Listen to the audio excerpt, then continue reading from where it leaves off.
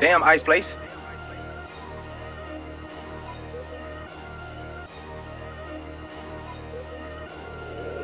ALYD.